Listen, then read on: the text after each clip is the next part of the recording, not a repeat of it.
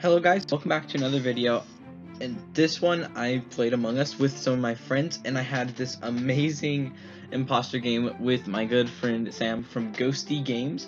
You should go check out his channel. Link is in the description. Go subscribe. He has some cool Madden videos. He does Fortnite, which I'm not a huge fan of, but I mean, he has interesting videos. So this was a very fast kill or win.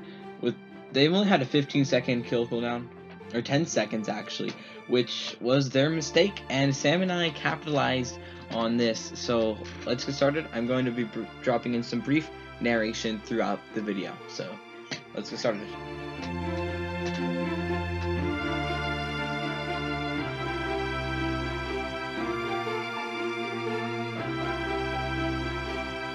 Aqua because Dark Green was taken. I don't have voice chats for this because I wanted to protect the privacy of my friends. So there I'm faking wires.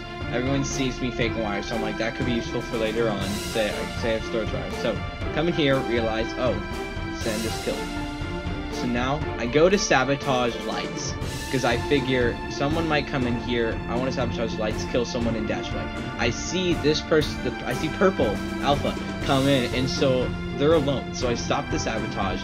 I kill, and then I hop in a I escape from Medbay, and then I go up north. Over here Noodle Blue.